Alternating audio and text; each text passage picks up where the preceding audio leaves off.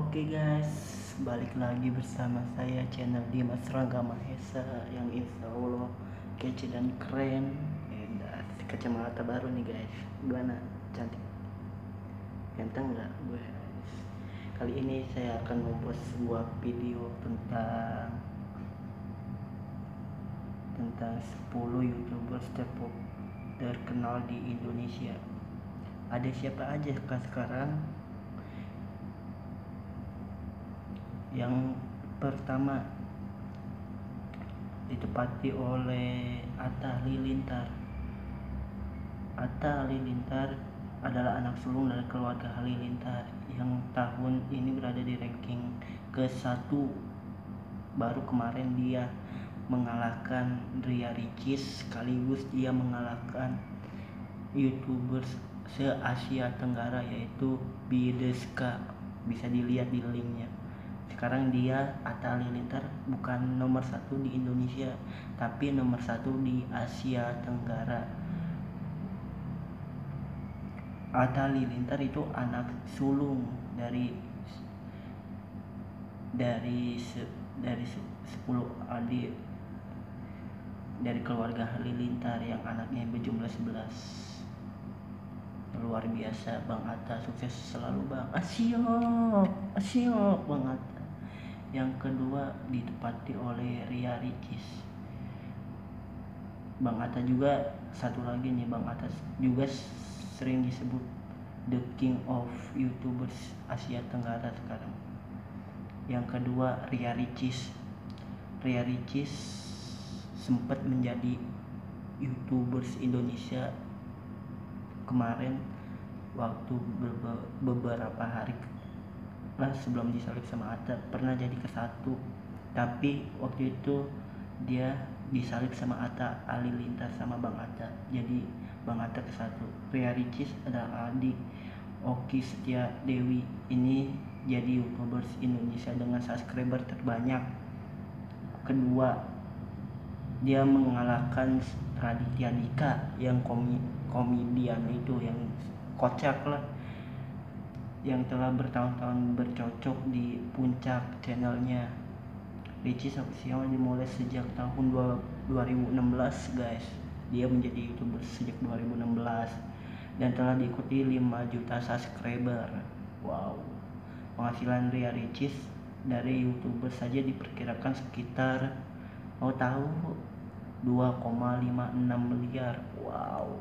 Per bulan itu hingga 43 miliar per tahunnya. Per tahun itu guys. Jadi kita nggak usah kerja capek-capek bikin video aja. Yang kedua eh yang ketiga ada Bang Raditya Dika. Oh iya penghasilan Atta itu diperkirakan dia penghasilannya mulai dari 1,8 miliar hingga 29,7 miliar per tahun. Mulai yang ketiga Raditya Dika. Oke lanjut. Yang ketiga di sini ada Bang Raditya Dika. Bang Raditya Dika itu boleh dibilang sukses di segala bidang. Dia di sukses dari segala bidang guys. Jadi mulai dari penulis main film hingga jadi youtubers hingga jadi komedian. Di stand up komedi yang lucunya tuh di sini guys. Das. Akunnya saat ini diikuti 4,6 juta subscriber. Akhirnya saat ini diikuti youtubers selanjutnya. Jika diperkirakan mampu mengantongi berapa? Kira-kira 971 juta atau 14,8 miliar per tahun guys. Bang Radit gila bang yang keempat diduduki oleh Nisa Sabian Gabus. Nisa Sabian itu channel grup musik yang satu ini cukup fenomenal hanya dalam waktu singkat. Mereka berhasil melonjak jadi salah satu channel terpopuler dengan penghasilan besar. Saat ini official Sabian Gabus telah diikuti dengan 3,8 juta subscriber guys. Oh siap.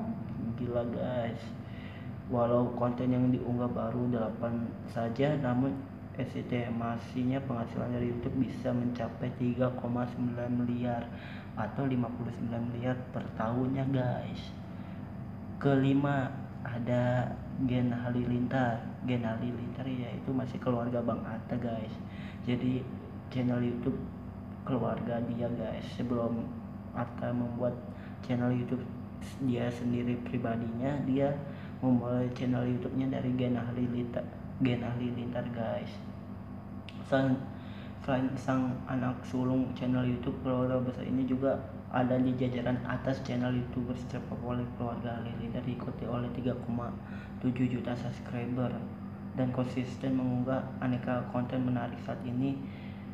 Subscribernya penghasilannya hingga 1,2 miliar guys per tahunnya guys. Gila yang ke 6 ada Jazz No Limit. Siapa sih yang gak kenal Jazz No Limit?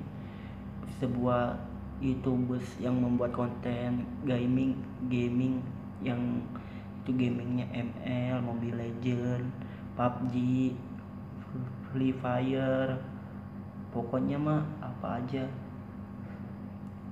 Meski akunnya tergolong baru, namun Just No Limit itu diikuti dari 3,3 juta subscriber guys.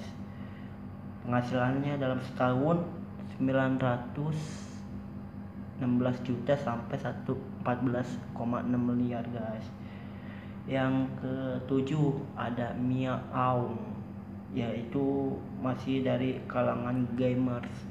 Yaitu Mia Aung ada di posisi ketujuh channel yang digerap oleh Rewi Prabowo itu terhitung konsisten dalam menjaga mutu dan berada di ranking teratas di follow oleh 2,6 juta subscriber. Guys gila.